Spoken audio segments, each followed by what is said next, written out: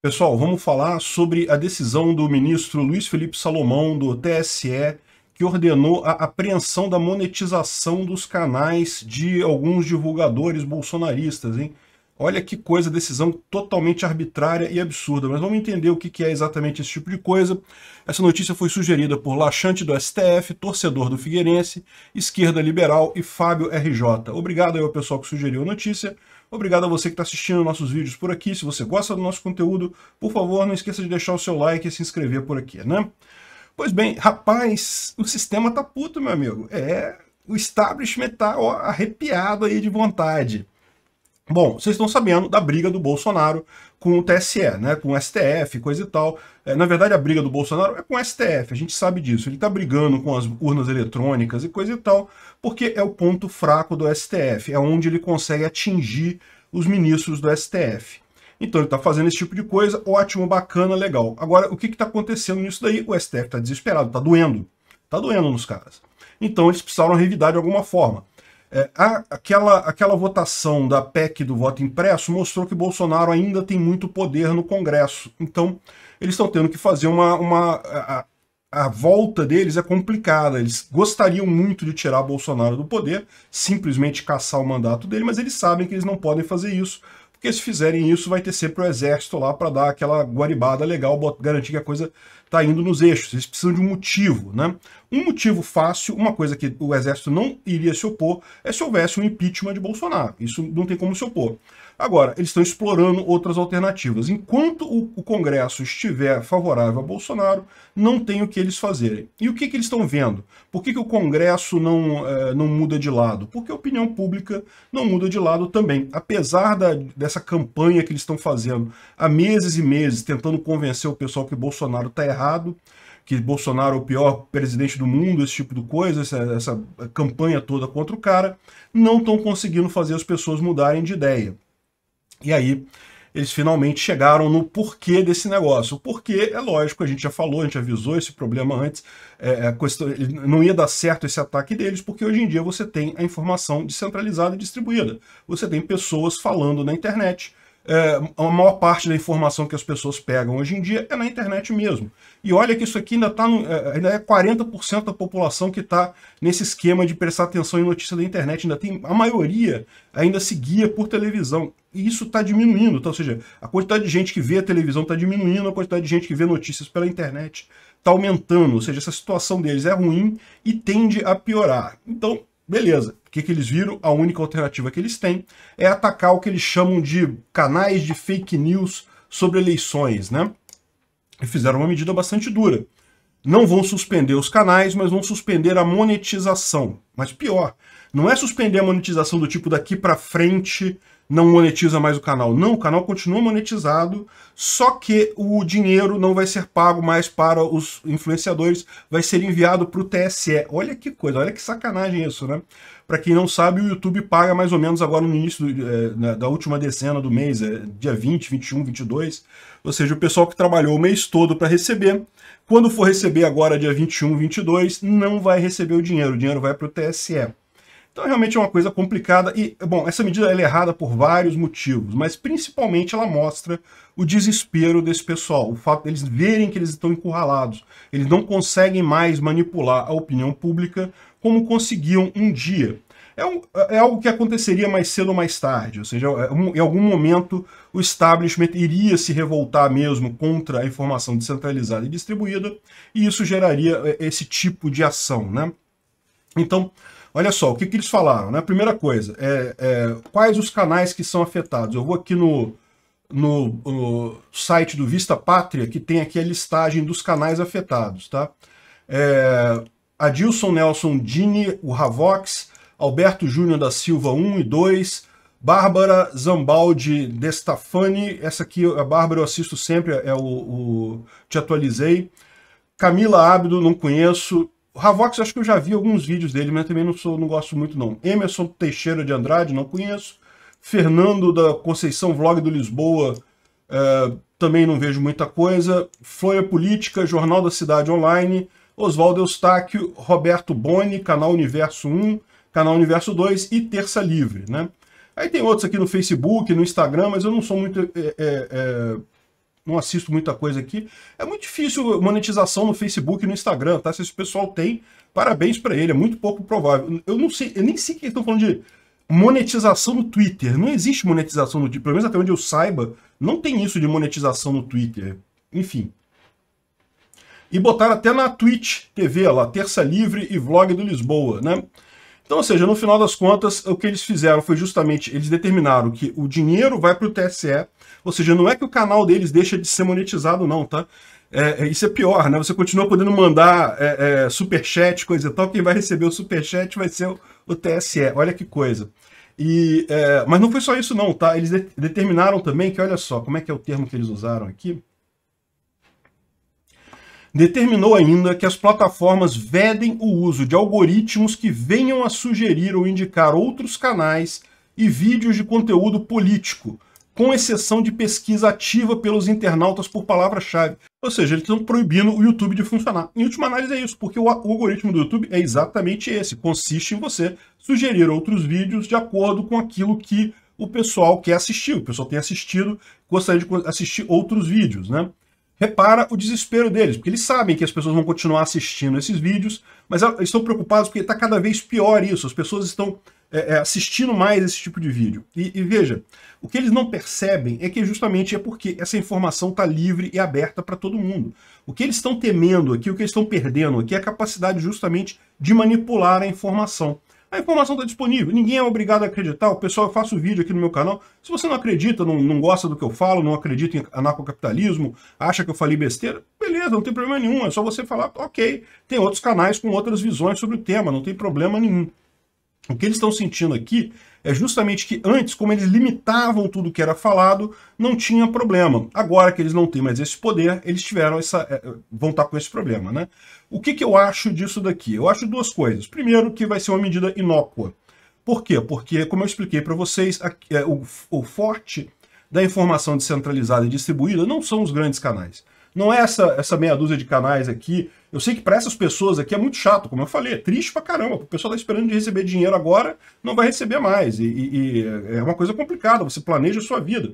Aliás, isso tem até uma implicação jurídica nisso daí, que eles, em última análise, estão confiscando renda alimentar. Né? Existe um princípio jurídico brasileiro que não se pode confiscar renda alimentar. A pessoa vive do salário, por exemplo, você não pode confiscar o salário da pessoa porque ela vive daquilo. Em última análise, o YouTube é exatamente isso. Essas pessoas vivem disso, elas recebem do YouTube e vivem disso. Estou imaginando, né? pelo menos algumas delas devem fazer isso. Então, em última análise, é, esse pessoal pode entrar na justiça com essa alegação justamente da questão alimentar. Tem mais argumentos judiciais também contra essa decisão, tá? Primeiro que fake news não é crime, não está tipificado em lugar nenhum do Código Penal, não tem nada dizendo que fake news seja crime no Código Penal, na legislação brasileira hoje. Tem um monte de iniciativas para colocar isso para funcionar, mas não tem nenhum, nenhuma dizendo que isso é de fato um problema neste momento. Então o cara tomou uma decisão punindo pessoas por algo que não é crime. Ele coloca aqui que fake news, coisa, depois ele fala de é, é, abuso de poder econômico e político. Isso aqui pode se aplicar ao caso de canais que são de políticos, né? Ele incluiu nesse daqui o canal do Bolsonaro, os filhos do Bolsonaro, o próprio canal do Bolsonaro e coisa e tal. É, o que é muito curioso, porque na verdade é, é, o abuso econômico é geralmente quando você bota dinheiro seu na coisa, não é quando você recebe dinheiro pela coisa, que é o que está acontecendo, mas tudo bem. Agora, nos canais de pessoas físicas não faz nem sentido isso daqui, né? Uso indevido dos meios de comunicação social. Que diabo é isso? Isso é crime aonde? O que, que, tá, que, que é isso daí? Corrupção, fraude, cadê a evidência disso daí? É, é realmente uma coisa condutas vedadas a agente público e propaganda antecipada. De novo, ok, isso aqui pode se aplicar a canais de políticos, em tese, mas não, o que está acontecendo aqui é que ele está aplicando isso para canais de pessoas que não são políticos, né? E uh, relativamente aos ataques contra o sistema de... Enfim, eles não têm base, base legal nenhuma para fazer isso. É mais uma vez o STF, no caso, o TSE. Certamente essa ação aí partiu ou do Barroso ou do Alexandre de Moraes. Quem fez foi o Luiz Felipe Salomão, certamente pressionado por esses. É, como vocês sabem, tem um espírito de corpo muito grande ali dentro. Então, certamente é Barroso pressionando o cara para fazer isso. Mas no final das contas é aquela ideia, não tem, estão extrapolando absurdamente a legislação, a própria Constituição, para fazer algo é, indescritível. Por quê? Porque estão apavorados. Mas, é, além dicomo eu estava falando, mesmo esses canais maiores, assim, isso não, não é o que faz diferença. É muito ruim para eles, não tenha dúvida, mas não é o que faz diferença na população em geral. Por quê? Porque existem milhares de canais que falam coisas similares. Não tem como as pessoas não encontrarem a informação se elas não quiserem. A internet ela é essencialmente anti-governo. Ela é essencialmente anárquica, anti-establishment. O que está acontecendo é justamente isso. Eles estão é, bloqueando esses canais, Estão querendo que o YouTube é, é, não, não recomende mais canais, mas, meu amigo, a informação flui. Pode, pode dar um baque? Pode ser que tenha um baque realmente, tá? Não vou enganar vocês, não. Pode ser que se o canal for marcado como canal político, ele acabe sendo não sugerido pelo YouTube, o que certamente vai é, dificultar, é, vai, vai gerar problemas para vários youtubers aqui no Brasil. Inclusive, para mim, é muito provável isso. A questão toda que eu acho é a seguinte, vai fazer diferença porque eles querem? Não, não vai, porque as pessoas hoje em dia elas têm acesso à informação e elas correm atrás da informação. Essas plataformas grandes são importantes, é verdade, mas tá, tem milhares de grupos de Telegram, de grupos de WhatsApp por aí, de coisas que eles não têm como influenciar. E pior, eles não estão ligados nem no Rumble, porque eu acho que no final das contas a saída para esse pessoal vai ser o Rumble mesmo. O Rumble, vocês sabem, é uma plataforma indiana, eu tenho um canal lá também, que justamente tem sido usada por pessoas conservadoras e pessoas que têm visão pró-Trump lá nos Estados Unidos, visão contra é, medidas de pandemia por lá também. E eu também tenho usado lá de vez em quando para fazer uma série de vídeos lá. Então, é, é, talvez esse pessoal indo para o Rumble seja uma coisa excelente, porque o Rumble não está aqui no Brasil. É um site indiano, não tem representação aqui no Brasil. Qual que é o problema do Rumble? Ele ainda não tem monetização mas ele já tem monetização nos Estados Unidos. Ou seja, o pessoal do Brasil indo em massa para o Rumble, não vai ser difícil de conseguir monetizar o Rumble. E eles vão acabar criando um problema ainda maior, porque eles vão estar agora com uma plataforma que não está aqui no Brasil, que não tem aqui no Brasil. É, ela funciona só lá na Índia, eles não têm autoridade por lá. Então, realmente é uma confusão que eles estão gerando aqui. Né? Além disso, eu imagino e o próprio YouTube vai entrar na justiça brigando contra isso. Por quê? Porque esse tipo de ação que eles estão querendo tomar aqui, isso ferra o algoritmo do YouTube. E ele sabe que isso é preocupante, porque se isso cola aqui no Brasil, ele sabe que outros países podem partir para o mesmo caminho.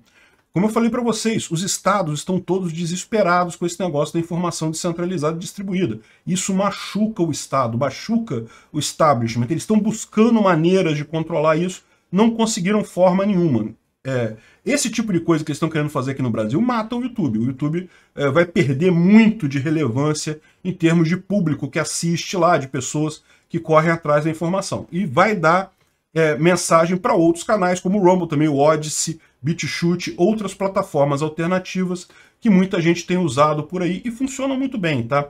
O Odyssey dá uma travadinha de vez em quando, mas funciona muito bem. E o Odyssey tem a vantagem de já ter alguma monetização no sistema.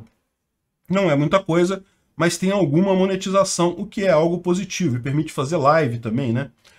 Pois bem, é, disso daqui, o YouTube, eu imagino, vai brigar contra essa decisão, tá? E aqui cabe um outro último alerta que eu falo. O pessoal que está é, é, recorrendo ao, ao governo, à justiça estatal contra essas plataformas, brigando com a plataforma. Repara o problema que eu estou falando desde lá de trás. Achar que justiça estatal vai resolver esse problema, não vai. Ah, mas teve ganho na primeira instância, ganho na segunda instância, ganho não sei o que lá. É, pode ser. Pode ter esses ganhos. Vai resolver no final das contas? Não, não vai, porque em algum momento essas ações vão chegar no STF e a gente está vendo claramente que lado que o STF pende, né? Eu, sinceramente, é, preocupado com isso daqui, viu? Não sei como é que vai ser o futuro imediato, não. É aquilo que eu falo para vocês. O futuro a longo prazo, eu não tenho dúvida nenhuma que a gente está indo no caminho da liberdade, que isso não vai afetar em nada a forma como as pessoas é, trocam informações na internet. Mas no curto prazo isso pode causar um bocado de confusão. Se segurem, o Estado tá puto.